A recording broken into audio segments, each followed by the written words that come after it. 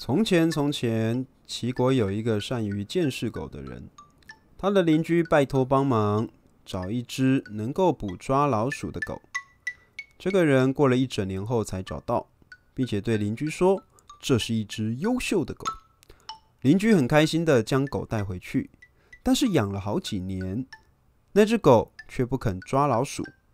邻居很生气的跑去跟见识狗的人说这件事，那个人却说。这是一只优秀的狗，它的志向在于捕捉像野猪、梅花鹿一样大的猎物，不在于捕捉小老鼠。如果要让它抓老鼠，你必须把它绑起来。邻居听完后，就把它的后脚绑了起来。受到束缚的狗垂头丧气，不久后就愿意抓老鼠了。